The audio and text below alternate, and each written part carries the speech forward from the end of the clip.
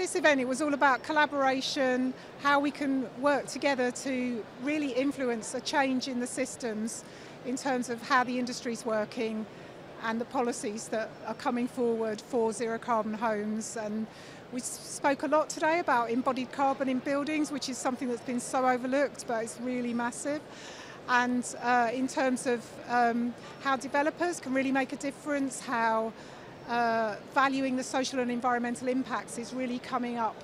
as being important, especially from the fund, the finance that wants to finance this following on from the COP26 with the Glasgow Finance Declaration.